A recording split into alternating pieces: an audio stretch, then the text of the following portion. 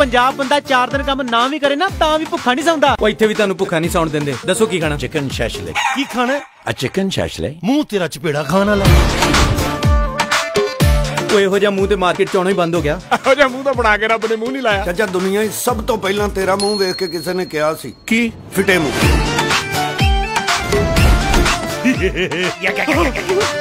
ਕੰਮ ਦੱਸੋ ਕੀ ਏ? ਪੱਕੇ ਹੋਣਾ ਜੀ? ਕਿੰਨਾ ਕੁ ਪੱਕਾ ਹੋਣਾ ਤੂੰ ਮੈਨੂੰ ਦੱਸ ਦੇ। ਮੈਂ ਮਿਸਤਰੀ ਬੁਲਾ ਕੇ ਚਾਰ ਦੀਵਾਰੀ ਕਰਾ ਦਿਆਂ ਤੇਰੀ। ਕਿੰਨਾ ਕੁ ਪੱਕਾ ਹੋਣਾ?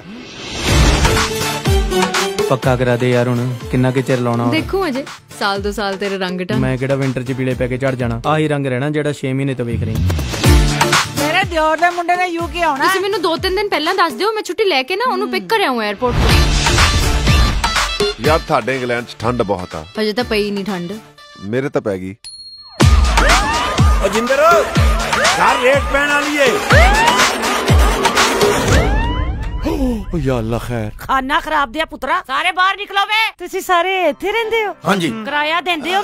ਨਹੀਂ ਨਹੀਂ ਨਹੀਂ, ਨਹੀਂ ਜੇ ਨਹੀਂ ਦਿੰਦੇ ਤੇ ਅੱਜ ਤੋਂ ਤੁਹਾਨੂੰ ਕਿਰਾਇਆ ਦੇਣਾ ਪੈਗਾ ਆਪਨੇ ਘਬਰਾਣਾ ਨਹੀਂ ਹੈ।